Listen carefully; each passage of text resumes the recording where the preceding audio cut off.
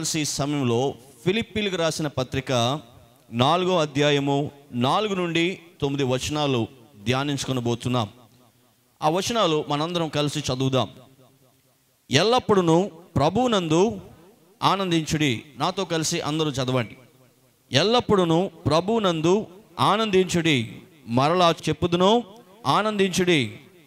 మీ సహనమును సకల జనులకు తెలియబడనీయుడి. ప్రభు సమీపముగా ఉన్నాడు. దేనిని గూర్చి చింతపడకుడి? కానీ ప్రతి విషయంలోనూ ప్రార్థన విజ్ఞాపనముల చేత కృతజ్ఞతాపూర్వకముగా మీ విన్నపములు దేవునికి తెలియచేయుడి.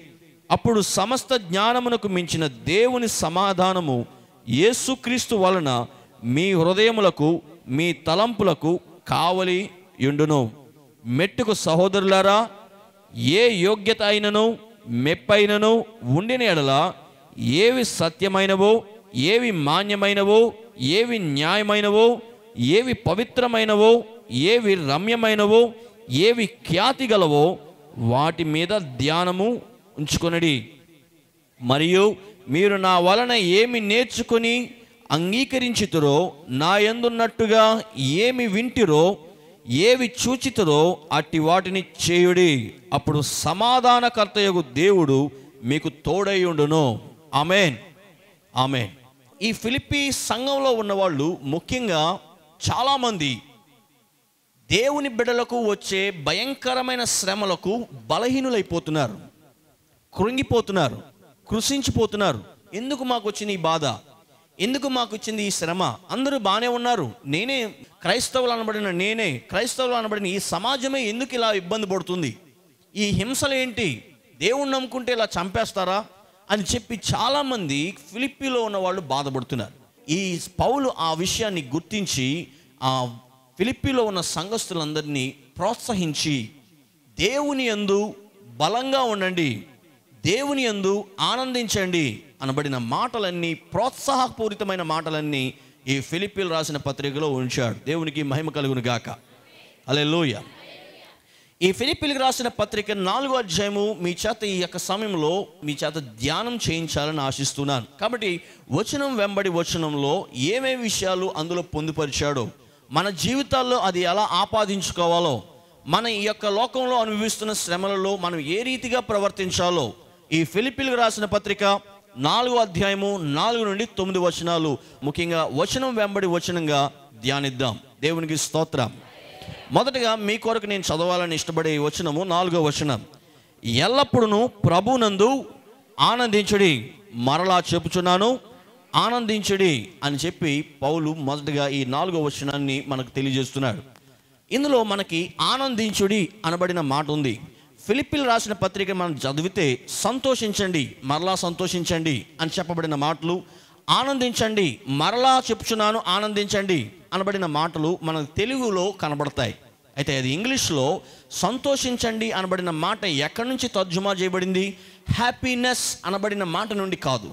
హ్యాపీ అంటే ఆనందంగా ఉండండి సంతోషంగా ఉండండి అనబడిన మాట వస్తుంది. కానీ ఇంగ్లీష్లో రిజాయిస్ అనబడిన మాట నుండి వచ్చింది. రిజాయిస్ అని అంటే ఉల్లాసము ఉత్సాహము. అది కేవలం నవ్వి ఊరుకునేది కాదు. అది కేవలం ఒక క్షణం ఉండి కొన్ని క్షణాలు మరుగైపోయేది కాదు. ఈ రిజాయిస్ అనబడిన మాట ఎందుకు పౌలు వాడాడు అని అంటే మీరు ఎల్లప్పుడూ ఈ విధంగా ఆనందించాల్సిన విషయం ఇది.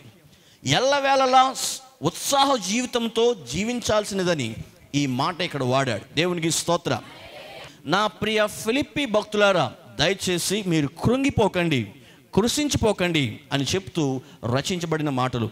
ఈనాటికి మన జీవితాల్లో హ్యాపీనెస్లు అనేవి ఉన్నాయి. ఎవరైనా వచ్చి బంధువులు మనకి ఇష్టమైన వాళ్ళు ఎవరైనా వస్తే సంతోషిస్తాం. వాళ్ళు వచ్చి ఉండి వెళ్ళిపోయేంత వరకు వారితో సంతోషిస్తాం. అయితే వాళ్ళు వెళ్ళిపోయిన తర్వాత ఆ సంతోషం ఉండదు.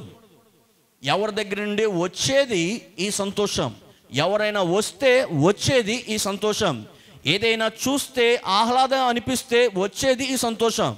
రిజాయిస్ అనబడిన ఈ సంతోషం ఉల్లాసం అటువంటిది కాదు. అది దేవుని ద్వారా వచ్చేది. వచ్చిపోయేది కాదు నిరంతరము నిలిచేది.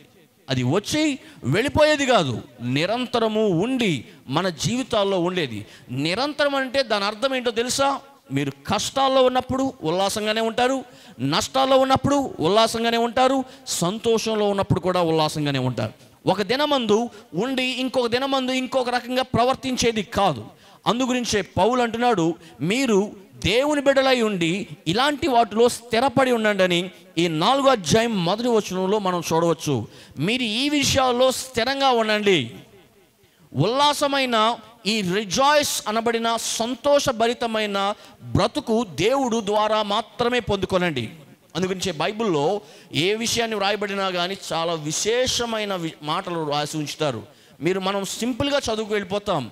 కానీ యూదులు అనబడిన వారు ఎవరైనా కానీ ప్రతి అక్షరాన్ని క్యాల్కులేట్ చేసి రాస్తారు. ఈ పదాన్ని ఇక్కడ కేవలం కారణంతోనే ఉపయోగిస్తారు. వాళ్ళకి నోటికి వచ్చిందల్లా రాశారు వాళ్ళకి తలంపుకు వచ్చిందల్లా రాశారు ఈ పదం దేన్ని సూచిస్తుంది? ఈ పదాన్ని దేన్ని సూచిస్తుంది అని చెప్పే లెక్కలు వారు వేసుకుని ప్రతి మాట బైబిల్లో ఉంచారు. దేవునికి స్తోత్ర అందుగురించే బైబిల్లో మనం కేవలం తెలుగు బైబిల్లో సింపుల్గా చదువుకోవచ్చు. కానీ అది గ్రీకు బైబిల్లోను అలాగే ఇంగ్లీష్ బైబిల్లోను దాని పదాలు చాలా డిఫరెన్సెస్ చాలా వ్యత్యాసత మనం చూడవచ్చు. అయితే ఇలాంటి శాశ్వతమైన ఆనందం ఎప్పుడు ఉల్లాసంగానే ఉండటం ఎప్పుడు సంతోషంగానే ఉండటం ఎప్పుడు ఆనందంగానే ఉండటం అనేది మనిషికి సాధ్యమా? ఎంత మాత్రము కాదు. మనిషి ఎల్లవేళలా సంతోషంగా ఉండడం అనేది సాధ్యం కాదు. సంతోషంగా ఉన్నప్పుడు ఎవడైనా నవ్వుతాడు కానీ దుఃఖం వచ్చినప్పుడు ఎవడైనా నవ్వుతాడా బాధ పరిస్థితి మన మీద జీవితంలో దాపరించినప్పుడు మనల్ని ఏడిపిస్తున్నప్పుడు నవ్వుతూ హాయిగా పర్లేదు అనే ధైర్యం మనం ఉండగలుగుతామా? కానీ బైబిల్లో రాయబడిన మాట ఒక విశేషమైన నిరీక్షణ మనకి ఇస్తుంది ఆ మాట ఏంటంటే ప్రభునందు సంతోషించండి. అది చాలా విశేషమైన మాట. చెప్పలు కూడా దేవుని స్తోత్రాలు చెల్లించాయి దేని అందు ఈ యొక్క రిజాయిస్ ఈ ఉల్లాసం ప్రభునందు నేను మళ్ళా చెప్తున్నాను ప్రభునందు సంతోషించండి. మీరు సొంతంగా నిర్మించుకుని సొంతంగా పుట్టించుకుని వచ్చే సంతోషాలతో ఏమాత్రము దీన్ని పోల్చలేము. సొంతంగా నిర్మించుకుని సొంతంగా వచ్చి పడే సంతోషాలు ఒక క్షణం ఉండి మళ్ళా మరొక క్షణంలో కనుమరుగైపోయేవి. కానీ ప్రభునందు సంతోషం అనేది ప్రభునందు ఉల్లాసం అనేది ఎన్నటెన్నటికీ కూడా ఆగిపోయేది కాదు. అది దేవుడు మన హృదయాల్లో ఉంచుతాడు. అది దేవుడు మన హృదయంలో ఉంచి మనం కష్టం వచ్చినా దేవుడు ఉన్నాడు అనే ధైర్యంతో సమాధానంతో ఉండగలుగుతాం. నష్టం వచ్చినా దేవుడున్నాడనే సమాధానంతో ముందుకు సాగగలుగుతాం. దేవునికి స్తోత్రం. అందుకే ఫిలిప్పి భక్తులారా దయచేసి జాగ్రత్తగా వినండి. మన క్రైస్తవులు అనబడిన వారి మీదకి హింస వచ్చినప్పుడు మీరు హింస నిమిత్తమై బాధపడి కృంగి కృషించిపోయి నీరసిల్లిపోయి భక్తిలో నుండి మీ యథార్థ జీవితంలో నుండి అలాగే మీ శరీర జీవితంలో నుండి కృషించిపోయి అనారోగ్యాలు పాలవకండి ప్రభునందు సంతోషించండి. ప్రభునందు ఆనందించండి. నేను మరలా చెప్తున్నాను ప్రభునందే ఆనందించండి. అని అపోసరైన పౌలు సెలవిస్తున్నాడు. దేవునికి స్తోత్ర. ఈ భూప్రపంచంలో సంతోషంగా పరిపూర్ణ సంతోషాన్ని అనుభవించిన వాళ్ళు ఎవరైనా ఉన్నారు అని అంటే అది దేవుని ఎందు ఉన్న వాళ్ళు మాత్రమే. దేవుని ఎందు మాత్రమే వారు పరిపూర్ణ సంతోషాన్ని అనుభవించగలుగుతారు. దేవుని ఎందంటే జాగ్రత్తగా అర్థం చేసుకునండి. దేవునితో సహవాసం చేస్తూ దేవుణ్ణి కలిగి ఉంటూ దేవునిలో ఉంటూ దేవునితో నడుస్తూ దేవుని చిత్తాన్ని సాగిస్తూ దేవుని చిత్తాన్ని వెతుకుతూ దేవా నీ ఇష్టమే జరిగించుగాక అని కోరుకుంటూ జీవించడమే ప్రభునందు ఉండడం. ఎవరైతే ప్రభునందు ఉంటారో ప్రభు వారికి ఎల్లవేళలా ఉల్లాసభరితమైన జీవితాన్ని ఇస్తాడు. కొన్ని ఉదాహరణ చెప్పి నేను ఈ అంశాన్ని ముందుకు తీసుకెళ్తాను. బైబిల్లో యహోశువ కాలేబు అనబడిన వారు ఉన్నారు. ఈ యహోశువ కాలేబు అనబడిన వారితో పాటు అనేక మంది చాలామంది ఉన్నారు దేవుని బిడ్డలు అనబడిన వారు. ఈ యహోశువ కాలేబు అనబడిన వారు మాత్రమే దేవుని యందు ఉల్లాసభరితమైన జీవితాన్ని కలిగి ఉన్నారు. అయితే మోషే వాళ్ళని పిలిచి మిగిలిన పది మందితో వీళ్ళని జతపరిచి మీరు వెళ్ళి మనం అడుగు పెట్టబోయే కానాను దేశం ఎలా ఉందో చూసి రండి అని ఒక అసైన్మెంట్తో పంపించాడు. ఈ పన్నెండు మంది కూడా ఆ దేశంలోకి వెళ్ళారు. అందరు అంతా చూశారు అంతా కూడా గమనించారు అక్కడ కొన్ని పళ్ళు తీసుకొచ్చారు వచ్చి మళ్ళా ఈ మోషే దగ్గరికి వచ్చి ఆ మాటలు చెప్తున్నారు. ఏమేమి చూసి వచ్చారో అక్కడ ఏమేమి ఉన్నాయో అని చెప్తున్నారు. ఈ ఇద్దరు ఈ యహోశువ కాలేబ్ అనబడిన వారు మొదటగా చెప్పలేదు కానీ పది మంది మాత్రం భయంకరంగా మాట్లాడారు. అబ్బో చాలా భయం వేసింది మాకు అక్కడ. మనం మాత్రం ఆ దేశంలో అడుగు పెట్టడానికి యోగ్యులుగా ఆ దేశస్తులు ఉన్నారు చూడు ఓ పెద్ద పెద్దోళ్ళు. మనం వాళ్ళ మధ్య మెడతల్లా ఉన్నాం. మన వల్ల అవదు వారిని జయించడం అమ్మో! అని చెప్పి వాళ్ళు ఆ పది మంది మిగిలిన ఆ లక్షలాది మందికి అపనమ్మకం కలిగించి భయంకరమైన భయానకమైన మాటలు వాళ్ళు చెప్పారు. అందు నిమిత్తం ప్రజలందరూ కూడా ఆ మాటలు విని అమ్మో మన జీవితం ఏంటిలాగా అయిపోయింది? ఆ ఐగుప్తులో ఉన్నప్పుడే బాగుండేదిరా బాబు. ఎందుకు వచ్చింది ఈ బతుకు? ఇలాగ తీసుకొచ్చి ఎక్కడ పాడు చేసేసారని ఓ గొనుక్కుంటున్నారు. అయితే ఆ మాటలు విన్న ఈ కాలేబు యెహోషువ మాత్రం ఎంతో బట్టలు చింపుకుని అయ్యలారా నా మాట వినండి. మీ వీళ్ళు చెప్పినట్లుగా అక్కడ ఏ ప్రమాదం లేదు. మన దేవుడు సమస్త విషయాలలో సహాయం చేయగలిగేవాడు. మనం వారిని ఎదిరించి ముందుకు వెళ్ళే యోగ్యత దేవుడు మనకిస్తాడు అని ధైర్యపు మాటలు చెప్పాడు. ఎందుకు వీళ్ళు అలా ఆలోచించారు? ఎందుకు వారు అలా ఆలోచించారని నేను జాగ్రత్తగా ధ్యానించాను.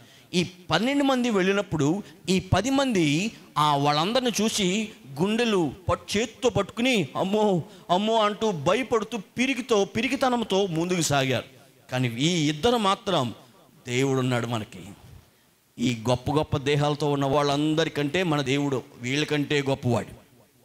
ఈ గొప్ప గొప్ప దేహాలతో ఉన్న వాళ్ళందరికంటే మన దేవుడు ఉన్నతమైన వాడు ఆ వాళ్ళు ఏం చేస్తారు మనల్ని. మన విశ్వాసం ప్రభు మీద ఉంచాం. వీళ్ళ బలం ఎంత? మన దేవుని ముందు అని చెప్పి ఎల్లప్పుడూ వారు ఆ ప్రయాణం చేసేంత వరకు ఎంతో ఉల్లాసంగానే చేశారు. దేవునికి స్తోత్ర ఇందులో మనం తెలుసుకోవాల్సిన విషయం ఏంటంటే వీరు ప్రభువునందు ధైర్యపడ్డారు. వీరు ప్రభునందు ఉల్లసిస్తున్నారు. వీరు ప్రభునందు ఆనందిస్తున్నారు. సంతోష సమయాల్లో ఆనందిస్తున్నారు. భయంకరమైన భయానికమైన పరిస్థితుల మధ్య ఆనందిస్తున్నారు. నా దేవుడున్నాడు ఇలాంటి సమస్య రాదు అని ధైర్యంతో ఉన్నారు. నా దేవుడున్నాడు ఇలాంటి ఇబ్బందులు ఏం మనకు తీసుకురాడు. నేను నమ్ముతున్న దేవుడు చాలా ఉన్నతుడు అని చెప్పి ఆయన మీద ఆధారపడుతూ ఈ యొక్క ప్రయాణం అంతటిని కూడా ఆస్వాదిస్తూ ముందుకు సాగారు. కానీ వీళ్ళ ప్రయాణాల్లో ఆస్వాదాలు లేవు భయాలు ఉన్నాయి ఈనాటికి చాలామంది మీ నిత్య జీవితంలో ప్రయాణాలు చేస్తూ ఉన్నారు. ఎలాంటి ప్రయాణాలు? సంసార ప్రయాణాలు. ఎలాంటి ప్రయాణాలు? మీ మీ జీవితాల్లో వచ్చే భయంకరమైన ఇబ్బందుల మధ్య ప్రయాణాలు. ఇలాంటి ప్రయాణాల్లో మీరు ఎలా ఉంటున్నారు? జాగ్రత్తగా వినండి.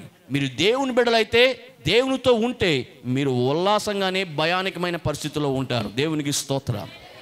మీరు దేవుని బిడ్డలు కాలేకపోతే మీరు దేవుని బిడ్డలు అనబడకపోతే లేకపోతే దేవుని మీద ఆధారపడకపోతే ఈ లోక అన్యజనుల వరే మీరు భయంతో చస్తూ ఉంటారు. బైబిల్ ఏం చెప్తుందో తెలుసా? దేవుడు మనతో ఉండగా మనకి ఏ విరోధమైనది జరగదు. దేవునికి చప్పలు కూడా స్తోత్రాలు చెల్లించాడు. అలెలోయ దేవుడు మనతో ఉండగా మనకి ఏ విరోధమైనది జరగదు. అటువంటి ఉల్లాసం ప్రభువునందు మాత్రమే లబ్ధి లబ్ధి కలుగుతుంది. మనం బైబిల్లో మరొక ముగ్గురిని మనం చూడవచ్చు వారు షడ్రక్ మేషక్ అబెద్దగోల్ వీరి మధ్య కూడా ఒక సవాల్ వచ్చింది.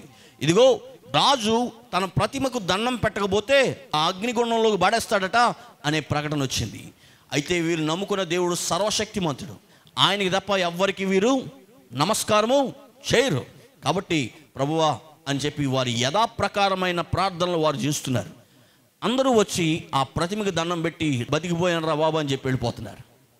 అందరూ వచ్చి ఆ ప్రతిమకి దండం పెట్టి బతికిపోయినరా బాబు అని వెళ్ళిపోతున్నారు పీకితనంతో కానీ వీళ్ళు మాత్రం ధైర్యంగా నా దేవుడు ఉన్నాడని చెప్పి వారు యథాప్రకారంగా వారి గదిలో ఉండి ప్రార్థన చేస్తున్నారు. అయితే రాజుకు ఆ కబురు వచ్చింది ఇదిగో పలానా ముగ్గురు రాజాస్థానంలో పనిచేస్తున్న ఉద్యోగస్తులని ఈ ముగ్గురు రావట్లేదు అయ్యా నీకు నీ ప్రతిమకు నమస్కారం చేయట్లేదయ్యా అని.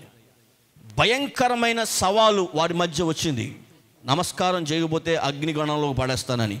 అయినా వారు ఉల్లాసంతో దేవునికే ప్రార్థన చేస్తున్నారు.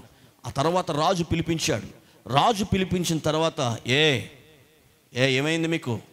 నా స్థానంలో పనిచేస్తూ నా ప్రతిమకు నమస్కారం చేయమంటే ఏ రకంగా మీకు గర్వం ఉంది? మీరు మా మధ్య ఉన్నారన్నది విషయం మర్చిపోయారా?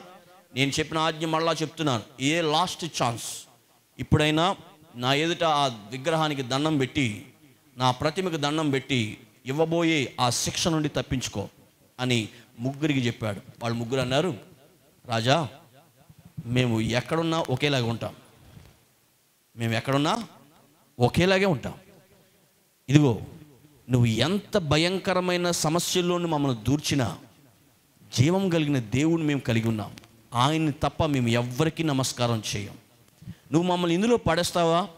పడే మమ్మల్ని అందులోంచి బయటికి తీసుకురాగలిగే శక్తి మేము నమ్ముకున్న దేవునికి ఉంది. ఒకవేళ తీసుకురాకపోయినా ఈ నమస్కారం మాత్రం నీకు చేయం. చాలా కోపం వచ్చింది రాజుకి ఈ మాటకి. ఆ అగ్ని గంధకాన్ని ఇంకా ఎక్కువ చేయండి రెట్టింపు చేయండి అని అన్నాడు. అగ్నిగుండం ఇంకా రెట్టింపయింది. వేడిమి ఉష్ణోగ్రత ఇంకా ఎక్కువైపోయింది. దగ్గరికి ఎవరు వెళ్ళలేకపోతున్నారు. సరిగ్గా రాజు కోపం ఇంకా రగులుకుంటూ ఈ ముగ్గురిని లోపల పడేయండి రానన్నాడు అన్నాడు. ముగ్గురిని కలిసి లోపల పడేస్తూ అలాగే విసిరారు. విసిరిన వాళ్ళు అందరూ కూడా కాలిపోయారు. వీరు మాత్రం అందులో తిరుగుతూ ఉన్నారు. ఎలా తిరుగుతున్నారు? బైబుల్ చెప్తుంది ఆ వేడిమి ఆ మంట యొక్క శక్తిని దేవుడు చల్లార్చాడట దేవుడు. దేవునికి స్తోత్ర. ఆ అగ్ని యొక్క శక్తిని ఏం చేశాడు దేవుడు? చల్లార్చాడు. వారు ముగ్గురుతో పాటు ఎవరో తిరుగుతున్నారు. బైబిల్ ఎందుకు ఈ విషయాన్ని మనకు ప్రస్తావించిందో తెలుసా? దేవుని యందు ఉన్న వాళ్ళు ఎక్కడున్నా ఆనందంగానే ఉంటారు. దేవునికి స్తోత్రాలు. ఎందుకంటే వారికి దేవుని యందు మాత్రమే ఆ ఆనందం వచ్చింది. దేవుని యందు ఉండటం ద్వారా వచ్చింది. పౌలు అందుకునే సెలవిస్తున్నాడు ఎల్లప్పుడూ ప్రభువునందు ఆనందించండి. ఎల్లప్పుడూ ఆల్వేస్. ఇది ఒక క్షణము మరొక రోజు మరుసటి రోజు కాదు. మీ మీ జీవితాలు ప్రభు సన్నిధికి వెళ్ళేంత వరకు ఎల్లవేళలా ప్రభువునందు ఆనందిస్తూనే ఉండండి. అది దేవుని యందు మాత్రమే లబ్ధి పొందే గొప్ప ఆశీర్వాదమైన ఆనందం. దేవునికి స్తోత్రం. మీరు దేవుని నమ్ముకుంటేనే తప్ప ఈ ఆనందం ఎవరికీ కూడా లభించదు. మీరు ఎక్కడికో వెళ్ళి ఎక్కడెక్కడో ఎన్ని చేద్దామని అనుకున్నా లభించదు. ఎంత గొప్ప ఆశ సంపాదించి కూడబెట్టి దాన్ని చూసుకుని అనుభవిద్దామని అనుకున్నా లభించదు. మీ ఇంటి వాళ్ళని చూసుకుని "ఆ, వాళ్ళు నా సంతోషం ఇస్తారు వీళ్ళు నా సంతోషిస్తారని వాళ్ళు చూసినా లభించదు. మీ అధికారాన్ని బట్టి లభించదు. మీ యొక్క ఉద్యోగాన్ని బట్టి లభించదు. మీ పక్కన ఉన్న కొలీగ్స్ని బట్టి మీ పక్కన ఉన్న మనుషులను బట్టి లభించదు. దేవుని ఎందున్న వారికి మాత్రమే నమ్మదగిన దేవుని ఎందున్న వారికి మాత్రమే ఇది దేవుని ద్వారా లభించే ఆనందం. ఉల్లాసం దేవునికి స్తోత్రం.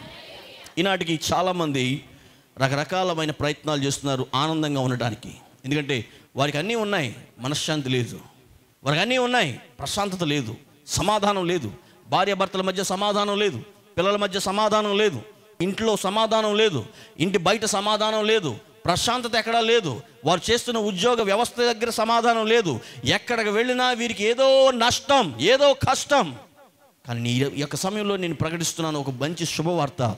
మీరు ప్రభునందు ఉంటే ప్రభునందు మాత్రమే మీరు ఆనందించగలుగుతారు. ఎక్కడున్నా మిమ్మల్ని హింసించే వారి పట్ల మీరు సంతోషించగలుగుతారు. ఎందుకంటే నా దేవుడు నాకున్నాడు ధైర్యంతో ముందుకు సాగుతారు దేవునికి స్తోత్ర. నవ్వు వచ్చినప్పుడు నవ్వేవాడు కదా గొప్పవాడు. దుఃఖంలో ఉన్నప్పుడు కూడా నవ్వుతూ సాగేవాడు గొప్పవాడు. ఎవడో నవ్వించాడు నవ్వుతూ కాదు గొప్ప. నేను నా దేవుని బిడ్డని నా దేవుని బిడ్డనైన నేను ఎప్పటికీ కూడా కళ్ళలో నుండి వ్యర్థమైన దాని గురించి నా కన్నీరుని జార విడచను అవసరమైతే ప్రభు పరిచర్య కొరకు జార విడుస్తాను అవసరమైతే ఈ లోక సంబంధమైన అన్యజనులు రక్షించబడట్లేదని జార విడుస్తాను కానీ నా సమస్యలు తీరట్లేదని నేనెందుకు జార విడచాలి నా కష్టాలు తీరట్లేదని నేనెందుకు జార విడచాలి నేను సంతోషంగానే ఉంటాను. ఎల్లప్పుడూ నేను సంతోషంగానే ఉంటాను అనేది ఎవరు అంటే ప్రభు మీద ఆధారపడేవారు మాత్రమే. ఈ యొక్క సమయంలో మిమ్మల్ని అడుగుతున్నాను నా ప్రే దేవుని బిడలారా మీరు ప్రభునందు ఉంటే ఖచ్చితంగా మీరు ఆనందిస్తారు సంతోషిస్తారు ఉల్లసిస్తారు. మరి అటువంటి సంతోషం లేకపోతే ఈ క్షణం ఉందైనా ప్రభు వద్దకు వద్దాం. దేవునికి స్తోత్రం. అలెలుయ ప్రభుని ఆశ్రయిద్దాం. ప్రభుని నమ్ముకుందాం. ప్రభువే మనకి గొప్ప ఆనందాన్ని ఇచ్చేవాడు. దేవుడి ద్వారా వచ్చే ఆనందమే మన జీవితాల్లో సంతృప్తి పరుస్తుంది తర్వాత వచనం మనం చదువుదాం. ఐదో వచనం. మీ సహనమును సకల జనులకు తెలియబడనీయుడి ప్రభువు సమీపముగా ఉన్నాడు. సహనము అనబడిన మాటకి ఫుట్ నోట్స్లో ఏముందో చూడండి. మృదుత్వము అనబడిన మాట ఉంది. దీనిని ఇంగ్లీష్లో జెంటిల్నెస్ అనబడిన మాటతో రాసి రాసి ఉంచారు. జెంటిల్నెస్ జెంటిల్నెస్ అని అంటే మృదుత్వము లేకపోతే శాంతి అని అర్థం ప్రశాంతత అని అర్థం లేకపోతే వాళ్ళు చాలా నెమ్మదస్తులు చాలా నెమ్మదస్తులు అని అర్థం ఇస్తుంది. అందు గురించే బైబిల్లో ఏ ఈ పౌలు అంటున్నాడు మీ మీ జీవితాల్లో మీరు ప్రభునందు ఆనందించండి మీరు మీ శాంతిని మీ మృదుత్వాన్ని మీ మృదుత్వాన్ని సకల జనులకు తెలియనివ్వండి. సకల జనులకు తెలియనివ్వండి. వాళ్ళు మిమ్మల్ని చూచి వాళ్ళు ఎటువంటి సమయంలోనైనా సరే ఇలాంటి ఆనందం ఎలా పొందుకుంటున్నారు వాళ్ళు? ఎంత కష్టం వచ్చినా ఇంత సంతోషంగా వారి జీవితాలు ఇంత నిర్భయంగా జడవకుండా జంకకుండా వారి జీవితాలు ఇంత చక్కగా సాగుతున్నాయి. ఎక్కడి నుంచి వచ్చింది ఈ యొక్క గొప్ప విషయం? ఎక్కడి నుంచి వచ్చింది గొప్ప ఆనందము? అని చెప్పి అనేకులకు తెలియనివ్వండి. దేవుని బిడ్డలైన మీరు మృదుత్వంగా ఉండండి. మృదుత్వం అంటే తెలుసా మీ అందరికీ? మీరు ఎప్పుడైనా స్పాంజ్ని ముట్టుకున్నారా? స్పాంజ్. ముట్టుకున్నప్పుడు ఏమనిపించింది మీకు? ఏమనిపించింది? నొక్కాలనిపించింది కదా? అనిపించదా? నొక్కుతారు. మీరు ఎప్పుడైనా ముళ్ళులు చూసారా ముళ్ళు ఆ ముళ్ళులు చూసినప్పుడు నొక్కాలనిపించుద్దా? ఏ? గుచ్చుకుంటాయి. మృదుత్వం అంటే ముళ్ళు కాదు. మృదుత్వం అంటే మెత్తనితనం. మన మనస్సులు మన క్రైస్తవ జీవితం చాలా మృదుత్వంగా ఉండాలి. కరుకుతనం అనేది ఎన్నడూ ఉండకూడదు కరుకు జీవితంతో ఎన్నడూ బ్రతకకూడదు. ముఖ్యంగా నేను మనవి చేస్తున్నాను మన నోటి నోటిలో నుంచి వచ్చే ప్రతి మాట మృదుత్వంగా రావాలి. దేవునికి స్తోత్రం. హల్లెలూయా. మన నోట్లోంచి వచ్చే ప్రతి మాట ఎలా రావాలి? మృదుత్వంగా రావాలి. కరుకుతనంగా రాకూడదు. చాలామంది మాట్లాడితే ఎలా ఉంటుందని అంటే నిప్పుల మీద కారం జల్లినట్టు ఉంటుంది. చాలామంది మాట్లాడితే ఎలా ఉంటుంది? నిప్పుల మీద కారం జల్లినట్టు ఉంటుంది. కొంతమంది మాట్లాడితే నిప్పుల మీద చన్నీళ్ళు పోసినట్టుగా ఉంటుంది. బైబిల్ అందు గురించి ఈ మాట అంటుంది. ఒక మృదుత్వమైన మాట భయంకరమైన కోపమును చల్లారుస్తుంది అని. అదే ఒక కరుకు మాట ఒక భయంకరమైన వివాదానికి దారితీస్తుంది. ఇక్కడ ఉన్న వాళ్ళందరికీ నేను సెలవిస్తున్నాను మీరు దేవుని బిడలై ఉంటే మీరు మెత్తగా సాధువులు వలె చాలా మృదుత్వంతో ఈ లోకంలో బ్రతకాల్సిన వారై ఉన్నారు. దేవునికి స్తోత్ర భార్య భర్తల మధ్య మృదుత్వం ఉండాలి. ఇంటి పొ- పొరుగువారి పట్ల మృదుత్వం ఉండాలి. దేవుని బిడలన్న వారు సాధువులుగానే అంటే గెడ్డాలు పెంచుకుని రకరకాలుగానే కాదు నా ఉద్దేశం. మనసంతా మెత్తదనంతో ఉండాలి. అమాయకత్వం గురించి కాదు దేవుడు బైబిల్ మాట్లాడుతుంటా. మృదుత్వం గురించి మాట్లాడుతున్నాడు దేవుడు. అమాయకంగా తెల్ల మొక్కలు వేసిన ఏం తెలియని వాళ్ళుగా ఉండాలని కాదు బైబిల్ ఉద్దేశం. మృదుత్వంగా ఉండాలి. మీకు అన్నీ తెలుసు. కానీ మెత్తదనంతో చాలా నెమ్మదిగా చాలా మృదుత్వంతో మీ మీ జీవితాల్లో సాగాలి. జాగ్రత్త మీ మాటల్లో మృదుత్వం లేకపోతే మీ ప్రవర్తనలో మృదుత్వం లేకపోతే మీ మీ జీవితంలో మృదుత్వం లేకపోతే మీరు ఎన్నటన్నటికీ కూడా ఇతరులకు వెలుగై ఉండరు. ఇతరులకు వెలుగై ఉండరు. దేవుడు తన బిడ్డలను ఎలా ఉండాలని ఆశిస్తున్నాడు తెలుసా? ఈ లోకానికి వెలుగై ఉండాలని ఆశిస్తున్నాడు. చెప్పండి ఎలాగా? వెలుగై ఉండాలని ఆశిస్తున్నాడు. కానీ మీరు ఎలా ఉంటున్నారో తెలుసా? ఈ లోకాన్ని అంటించేసేటట్టుగా ఉంటున్నారు. అలా ఉండకూడదు. దేవుని వాక్యం ప్రకారంగా వెలుగై ఉండటం అని అంటే అటు అంటించకుండా ఎవరికి నష్టం కలగకుండా ఒకరికి దారి చూపే విధంగా ఉండాలి. దేవునికి స్తోత్రం. మీరు ఈ లోకానికి ఉప్పై ఉన్నారు అని అన్నాడు. అని అయితే ఉప్పును కాస్త ఎక్కువ వేస్తే ఏమవుద్ది? కాస్త తక్కువ వేస్తే ఏమవుద్ది? మృదుత్వం అనేది సమపాళుల్లో ఉండే విధంగా ఉంటుంది. దేవునికి స్తోత్రం. చిరాకు వచ్చినప్పుడు వేసేసి ఆ, ఆనందంగా ఉన్నప్పుడు సంతోషంగా చేసేసేది కాదు. ఎల్లవేళలా అదే సంతోషంతో ఉండేది. బైబిల్ అందు గురించే ప్రభు ఇలాంటి విశ్లేషణ చెప్తున్నాడు. మీరు ఈ లోకానికి వెలుగై ఉన్నారు. దాని అర్థం మీ లోకానికి మృదుత్వంతో అనేకులను ప్రభు వైపు నడపాల్సిన వారే ఉన్నారు. మీరు ఈ లోకానికి ఉప్పై ఉన్నారు. దాని అర్థం ఏంటో తెలుసా? అది ఎక్కువ అవ్వకూడదు తక్కువ అవ్వకూడదు అది సమపాలులో ఉండే విధంగా అనేకులకు చక్కటి రుచికరమైన జీవితాన్ని ఇచ్చే విధంగా ఉండాలి. మీరు ఈ లోకానికి అలా ఉండాలి. మీ సహనాన్ని సకల ప్రజలకు తెలియటట్లుగా ఉండాలని ప్రభు ఆశిస్తున్నాడు. దేవునికి స్తోత్రం చెప్దాం. అలెల్లోయ కాబట్టి జాగ్రత్తగా అర్థం చేసుకోండి. చాలా విశేషమైన మాట ఇది. మీరు మీ ఇంటిలో కానీ మీ ఇంటి బయట కానీ ఎంత మృదుత్వంగా సహనంగా ఉంటే అంత దేవుని బిడ్డలుగా మీరు సాగగలుగుతారు. దేవునికి మహిమ కలుగును గాక. చిరాకులు అనేవి అందరికీ ఉన్నాయి కోపాలు అనేవి అందరికీ ఉన్నాయి ఎన్నో రకరకాల ఇబ్బందులు వచ్చేవి అందరికీ ఉన్నాయి. కానీ వాటిలో మీ మృదుత్వాన్ని కాపాడుకోవడం చాలా కష్టం. కానీ మీరు కాపాడుకుంటే మీ జీవితంలో దేవుడు ఎల్లప్పుడూ మీ సంతోషాన్ని ఉంచుతాడు. చెప్పలు కూడా దేవుని స్తోత్రం చెల్లించాడు అలే లోయ ఈ సమయంలో నాతో కలిసి ఈ ప్రార్థనలో ఏకీవించండి పరమ తండ్రి ప్రేమ కలిగిన ఏసయ్య నీ వాక్య ధ్యానము ద్వారా మాకు తెలిసిన విషయాలు ఎన్నో ఉన్నాయి. అయ్యా మేము అవన్నీ తెలుసుకుని మళ్ళా గడప దాటిన తర్వాత మళ్ళీ ఈ క్షణం తర్వాత మర్చిపోతూ నీకు వ్యర్థులుగా జీవిస్తున్నాం. ఈ వారం నాతో మాట్లాడిన ప్రతి మాట మా గుండెల్లో భద్రపరుచుకుని మా జీవితాల్లో భద్రపరుచుకుని మా ప్రవర్తనలో వాటిని ఉంచుకుని మేమందరము జీవించేటట్లుగా కృపదాయించాయి ఇదివరకు నువ్వు మా యొక్క బాగు కొరకు మాట్లాడావు. మేము బాగుండాలని మాట్లాడావు. మేము ఆనందంగా ఉండాలని మాట్లాడావు. మేము సంతోషంగా ఉండాలని మాట్లాడావు. కేవలం మేమే కేవలం మేమే మా చిత్తాలన్నీ నెరవేర్చుకుని ఈరోజు శాంతిని పోగొట్టుకున్నాం. ఈరోజు ప్రశాంతత పోగొట్టుకున్నాం. ఈరోజు వ్యర్థులుగా జీవిస్తున్నాం. తల నెత్తి నోరు బాదుకున్నా మా జీవితాల్లో బాగులేదు. మమ్మల్ని క్షమించండి. మా సొంత పెత్తనాలన్నీ చేసుకుని వచ్చాం. మా సొంత ప్రయత్నాలన్నీ చేసుకుని వచ్చాం. మమ్మల్ని క్షమించి అలిసిపోయి ఉన్న మమ్మల్ని మన్నించి అయ్యా నీ బిడలుగా ఇక నుంచి నడిపించండి నీ చిత్తమే వెతికేటట్లుగా నీ చిత్తానుసారంగా ఉండేటట్లుగా కృపదాయిచ్చు ఇంతవరకు మాట్లాడిన ప్రతి మాట ద్వారా అయ్యా ఎంతమంది అయితే విశ్వసించి నీ వైపు ప్రవ్వా తిరిగి ఎల్లప్పుడూ నీ ద్వారా ఆనందిస్తారో అట్టి వారిని దీవించండి. సమస్త మహిమా పొందుకొని ఈ బిడ్డలందరినీ చేతులు పెడుతూ ఆశీర్వదించమని యేసుక్రీస్తు శ్రేష్టమైన నామంలో అడిగి వేడుకుని ప్రార్థన చేస్తున్నాము తండ్రి. ఆమె ఈ సందేశాన్ని మరలా వినాలనుకుంటున్నారా? అయితే యూట్యూబ్లో B I B L E V A D D A K U Bible వద్దకు అని టైప్ చేసి ఈ సందేశాన్ని మరలా వినండి. మరిన్ని ఆత్మీయ సందేశాల కొరకు ప్రక్కనే ఉన్న సబ్స్క్రైబ్ బటన్ని బెల్ బటన్ని ప్రెస్ చేయడం మర్చిపోకండి. ఆధ్యాత్మిక లేఖిని అను క్రైస్తవ ద్విమాస పత్రిక గత రెండు సంవత్సరాలుగా అనేక వందలాది మంది పాఠక ఆదరణ పొందుతున్నదని చెప్పుటకు ప్రభునందు సంతోషించుచున్నాము. దైవజనులు బ్రదర్ జి రాజశేఖర్ గారి కలమును దేవుడు వాడుకుని అందరూ చదువుకున్నటకు వీలుగా ఆధ్యాత్మిక అక్షరము మిషనరీ అక్షరము యవన అక్షరము మహిళా అక్షరము కుటుంబ అక్షరము సామాజిక అక్షరము విశ్వాసీ అక్షరం ప్రశ్నకు జవాబు బైబిల్ సైన్స్ వంటి వివిధ శాఖలలో దైవ సందేశములు మరియు వివిధ ఆసక్తికరమైన విషయాలు పొందుపరుచుచున్నారు.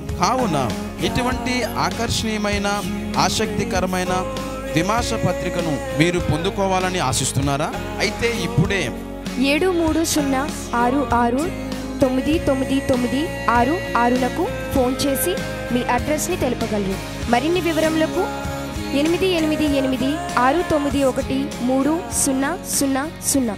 దేవుడు మిమ్మల్ని దీవించునుగాక. ఆమెన్. మా address brother G Rajasekhar S Chikkala Palakollu మండలం పశ్చిమ గోదావరి జిల్లా Andhra Pradesh. Our address brother G Rajasekhar S Chikkala Palakollu mandal west Godavari district Andhra Pradesh. మా ఫోన్ నెంబర్లు triple eight six nine one three triple zero. మరి ఒక phone number triple eight six nine one four triple zero